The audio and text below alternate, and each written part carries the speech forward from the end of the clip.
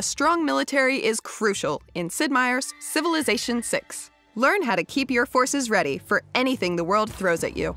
Land units comprise the majority of your army. There are melee units like the warrior, ranged units like the crossbowmen, and light and heavy cavalry like the horsemen and the knight. There are also more specialized units like the recon, siege, and anti-cavalry units. Most units take and receive damage during combat. Ranged units like slingers cause damage at a distance, so they aren't damaged on their turn, but they are weak to melee attacks and don't restrict enemy movement. Siege units, like catapults, aren't very good at combat, but excel in defeating cities.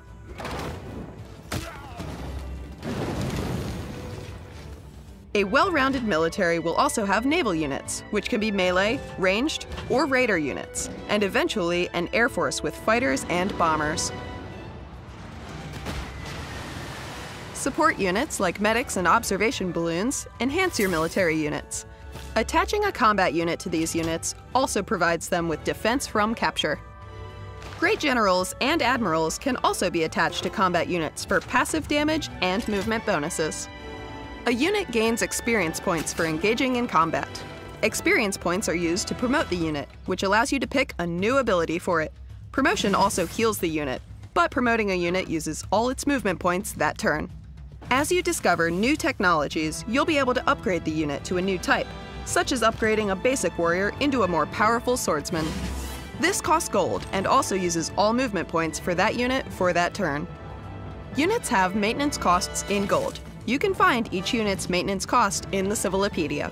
Make sure you have a strong economy if you want a large military, or your units will disband. Eventually, you'll be able to form units into corps and even armies, which combine the strength of multiple units into a single unit, while keeping its maintenance cost low. You can also use the conscription and levée en masse policies to reduce unit maintenance costs. Spies are extremely specialized units that allow you to conduct espionage in enemy cities. These activities range from allowing more diplomatic visibility to sabotaging industrial zones to stealing great works.